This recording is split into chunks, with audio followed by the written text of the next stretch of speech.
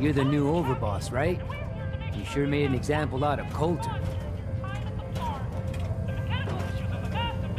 Are you kidding? That was a piece of cake. Well, you have to admit, you had a bit of help. Gage was the one that clued you in. Yeah, I know all about it. Don't worry, your secret's safe with me. I think Colter got exactly what he deserved. Good. Then you and I won't have a problem. As long as you run these gangs the way they were meant to be run, we'll never have a problem.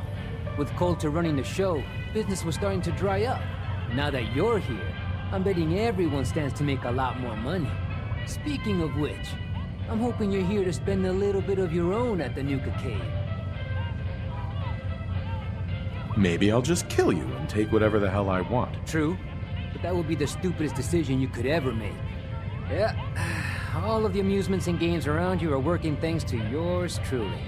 I'm the only one that can take them apart and put them back together again. If I go, then it's only a matter of time before they fall apart.